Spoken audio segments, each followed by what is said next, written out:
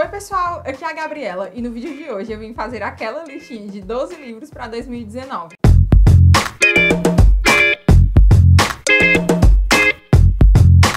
Ano passado eu fiz essa lista também e deu mais ou menos certo. Alguns dos livros que eu coloquei na minha listinha eu não consegui ler porque eu não consegui comprar, eu tava esperando alguma promoção e só consegui comprar bem no finalzinho do ano, então alguns deles ficaram para esse ano aqui. Eu vou deixar aqui do lado a lista dos livros que eu coloquei ano passado e vou dizer para vocês quais eu li. Então, os que eu li foram Maus, Corandel, que eu não li todo, mas li um artigo, dois artigos na verdade, um, Cartas de um Diabo a Seu Aprendiz, Deleitando-se na Trindade, Você Não Precisa de um Chamado Missionário, Abolição do Homem e Admirável Mundo Novo. Esses foram os livros dessa listinha aqui que eu li.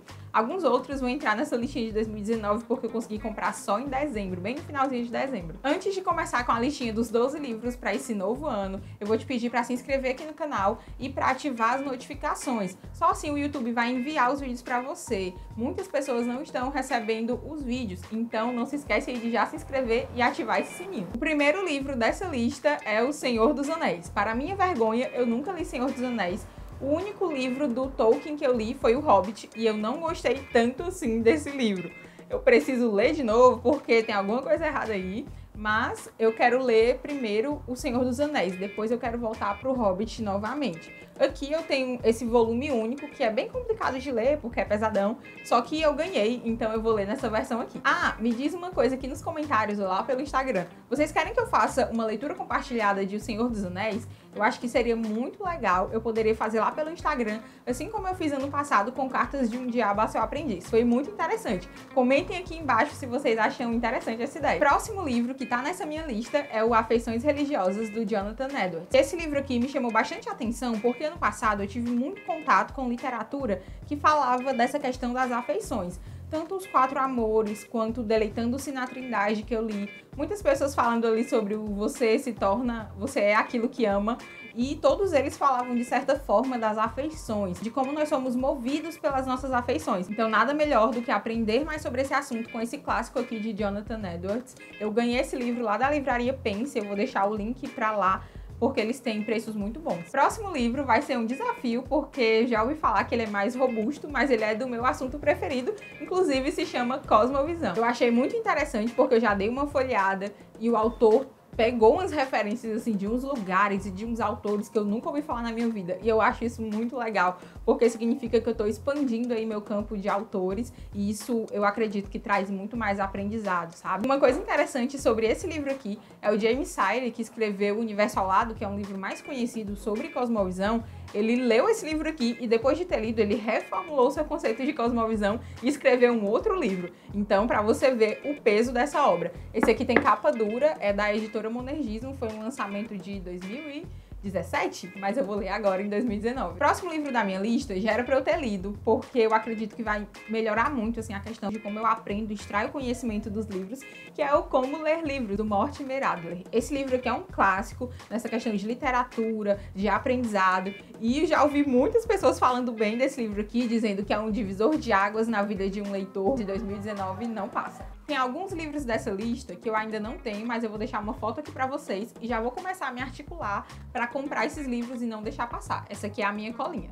O primeiro deles é o Confissões de Agostinho. Gente, outra vergonha na minha vida. Eu não terminei de ler esse livro porque eu tinha um exemplar desse livro e me pediram emprestado para fazer um trabalho de faculdade, não me devolveram mais e eu acabei não terminando a leitura. Mas eu pretendo comprar uma edição de Confissões para continuar essa leitura. O próximo livro é o Inteligência Humilhada do Jonas Madureira. Eu digo que esse livro já nasceu clássico, sabe? Foi sucesso aí de vendas. Todo mundo que eu conheço que leu diz que o livro é maravilhoso. O Jonas Madureira é uma mente assim inteligentíssima, uma mente muito capaz então, eu acredito que esse livro seja incrível e tem muito a ver com Confissões. Inclusive, eu acho que eu vou ler paralelamente. Outro livro que eu pretendo ler, inclusive por influência do Jonas Madureira, é o Memórias do Subsolo, do Dostoiévski. Eu nunca li Dostoiévski e numa palestra do Jonas Madureira no ano passado, na Consciência Cristã, onde ele tratava sobre literatura, ele falou bastante desse livro. E desde essa palestra eu fiquei doida para ler o livro e eu acredito que vai ser uma boa iniciação em Dostoiévski. E não poderia faltar C.S. Lewis nessa minha lista. O livro que eu escolhi para colocar nessa minha listinha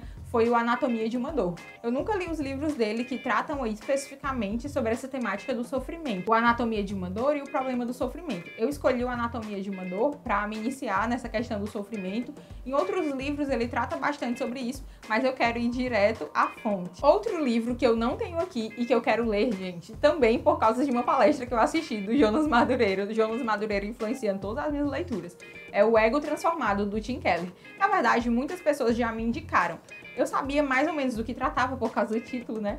Mas nessa palestra que ele deu lá na Consciência Cristã, ele expôs muita coisa sobre esse livro. E ele disse que foi um dos livros que marcaram a vida dele. Então eu fiquei com muita vontade de ler. E é um livretinho, eu acho que eu vou comprar o e-book para ler, porque sempre tá baratinho lá na Amazon. E eu não posso passar 2019 sem ler esse livro. Um livro que eu vou ler por influência da minha amiga Larissa, do Servos da Verdade, é esse aqui, 12 Regras para a Vida, do Jordan Peterson.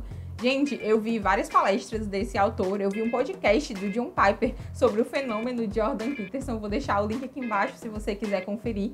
E eu vi que tem muita coisa interessante, sabe? Ele é psiquiatra, ele não é cristão, mas ele tem assim uns insights maravilhosos. Ele entende a importância do cristianismo, da Bíblia para a sociedade e ele é muito honesto ao falar disso. Me disseram já que esse livro aqui é tapa na cara, atrás de tapa na cara, e eu tô muito interessada para ler. 12 regras para a vida. E o último livro, gente, eu tô muito emocionada porque finalmente eu consegui comprar o volume 1 de Sandman. Gente, olha que coisa maravilhosa. Sandman é uma graphic novel é, de autoria do Neil Gaiman. E, gente, isso aqui é maravilhoso. Eu já ouvi muitas e muitas e muitas pessoas falando super bem de Sandman e eu nunca conseguia comprar isso aqui, porque sempre tava tipo 150 reais e nunca tinha para vender. Tava esgotado em tudo que é canto. E eu consegui comprar por 80 reais, eu acho, na Black Friday do ano passado. E eu tô muito emocionada. Já sei que meu amigo Iago Martins tem os outros volumes, então se eu não conseguir comprar, eu já vou pedir emprestado.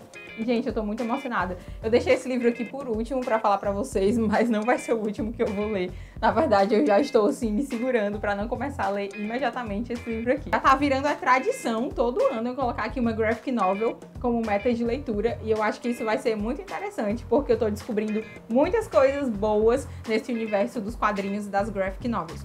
Inclusive, se você tem alguma preferida, me deixa aqui nos comentários que eu vou lá pesquisar para saber sobre o que se trata. Eu quero te encorajar a postar no Instagram ou me dizer aqui nos comentários o que você pretende ler nesse ano. Não é que essas metas literárias sejam uma coisa que você vai se prender assim e você vai se martirizar se você não ler, se você não cumprir. Mas eu acredito que é uma forma interessante de você se motivar e de você colocar no papel livros que você já quer ler há muito tempo, que você sempre deixa de lado.